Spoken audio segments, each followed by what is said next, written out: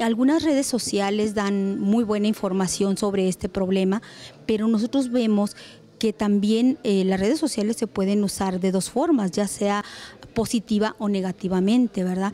Y vemos que cada vez los jóvenes eh, inician el consumo más temprano y eso nos preocupa bastante y que ya no, cada vez vemos menos alcohólicos puros porque el internet, eh, todos estos medios muchas veces la curiosidad, ¿verdad?, de, probar anfetaminas o bebidas energetizantes eh, mezcladas con tequila, por ejemplo, eh, y entonces todo esto va haciendo que el problema se vuelva como una bola de nieve, y inclusive ya tenemos un aumento importante en cuanto a mujeres que tienen este problema. Antes era de 8 a 1, o sea, 8 hombres por una mujer.